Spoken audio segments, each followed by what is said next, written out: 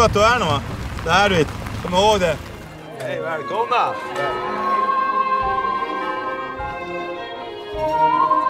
Då sjunger vi refrängen! Den kan vi, den är lätt! Halleluja! Högre! Okej, Okej. Då så. Frida Hallgren sitter vi här med nu.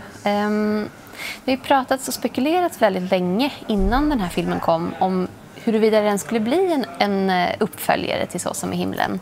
Um, var det någonting som du så där bakom kulisserna var delaktig i? Uh, Nja, alltså Kai frågade mig redan ett år efter Så som i himlen eh, om jag var intresserad av att eh, jobba med honom igen och eh, eh, utveckla Lena-karaktären. Jo, jo, kom. Om du var där och sjöng så skulle folk komma. Kom och ta hand om musiken i kyrkan. Menar, bara för att du kan stå och skråla framför massa halvfulla bönder på dansbanorna så ska du inte tro att du kan platsa i en kyrka. Det är åtta pers där inne, inklusive Jesus på korset. Hur har ni tänkt få ihop folk till detta? Det är ju fler stämmer i Händels halleluja än vad det finns folk i byn. Lena har suttit i kassan på Ica i 16 år. Hon känner varenda kotte på 10 mils avstånd. Kusin. Hur var det då till slut att återkomma till, till Lena? Um, jo, jag, var, jag var oerhört taggad när vi började då eftersom jag så länge hade vetat om det och gått och väntat på det. Och så här. Ehm, så att ehm, jag var väldigt väl förberedd. Jag hade lyssnat in mig på väldigt mycket musik, countrymusik, olika stämningar. Jag, jag, brukar peppa mycket med musik. Ehm, och sen så Um, dialekten hade jag ju övat mycket. Jag hade läst manuset väldigt många gånger. Um, så det var skönt när vi väl började, kände jag, att få gestalta alla de här scenerna som hade gått och liksom legat till sig liksom i mig lite.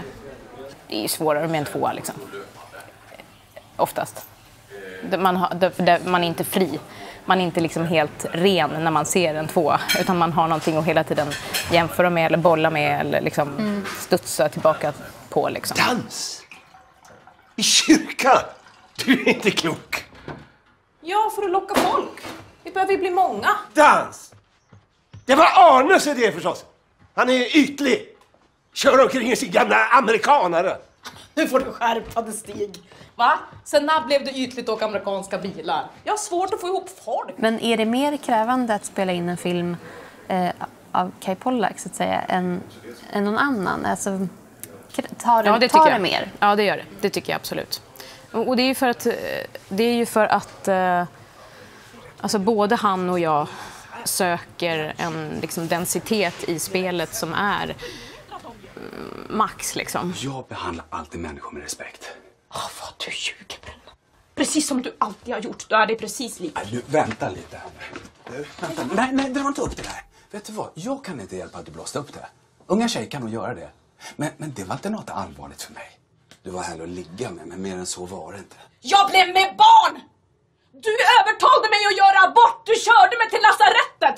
Du lovade att du skulle sitta i den där soffan där ute när jag kom ut, men du gjorde inte det! Den jävla soffan var tom! Okay. Nej, nu ska du lyssna på mig. Håll käften! Vet du vad? Jag var 16 år. Jag fick åka de där 18 milen på den jävla bussen ensam tillbaka, satt och grina och blödde. Och sen nekade du till allt. Mm. Och sen orkade du inte se mig. Du uteslöt mig ur skolkören så att jag inte kunde hålla... Det är ju stora projekt alltså, som tar väldigt mycket eh, av alla som är med. Eh, så att eh, man kanske behöver vila tio år.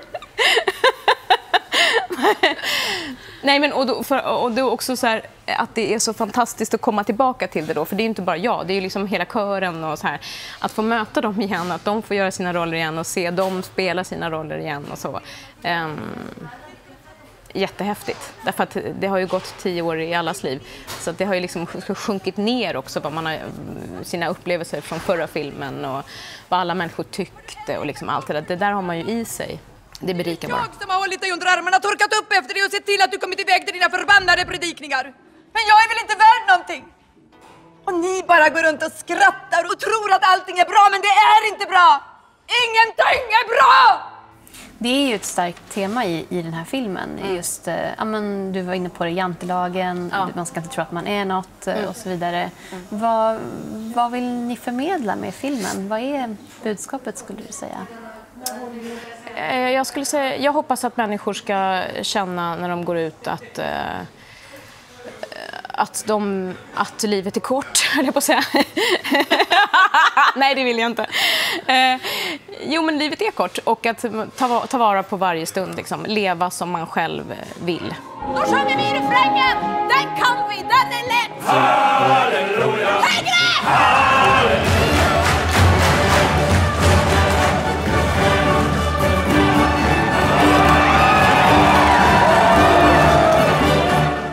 är otrolig Lena. Nu har, nu har vi liksom clearat hela, hela restaurangen. Nu är alla borta, vi har sänkt musiken.